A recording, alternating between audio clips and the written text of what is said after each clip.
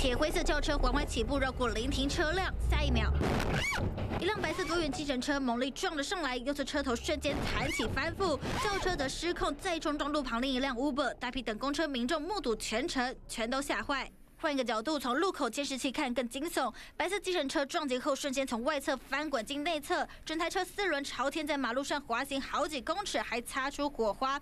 翻车意外就发生在台北新一区中小东路五段市府转运站前。二十八号晚上九点二十五分，铁灰色轿车疑似因没礼让直行车与白牌计程车发生碰撞，再撞右侧临停 Uber。警消获报赶抵现场，火速将翻覆的计程车驾驶乘客从车内救出。本件车祸呢，造成了两人受伤而三方的酒测值均为零。